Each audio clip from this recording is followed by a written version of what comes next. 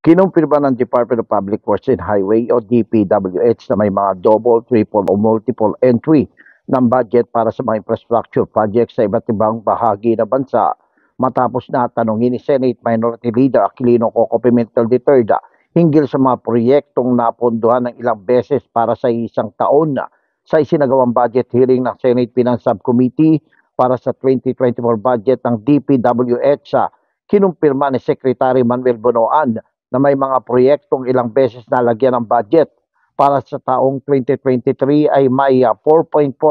billion peso na nakita sila mga multiple entry ng pondo sa mga proyekto. Ngunit pagkatapos ng isinagawa nilang validation ay 2.8 billion peso lamang ang nirelease ng Department of Budget and Management ah, sa pagtatanong ni Pimentel hinggil sa mga proyektong napunduhan ng ilang beses para sa isang taon inihalimbawa ng senador ng itong isang kalsada sa Davao City na may budget na 60 million peso ngunit may entry din na 105 million peso.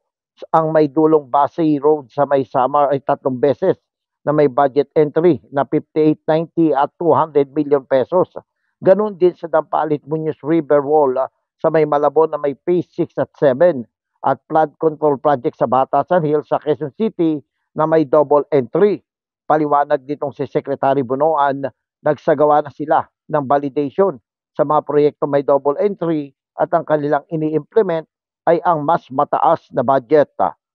Ako, si Jojo Sikat, walang inatasang balita.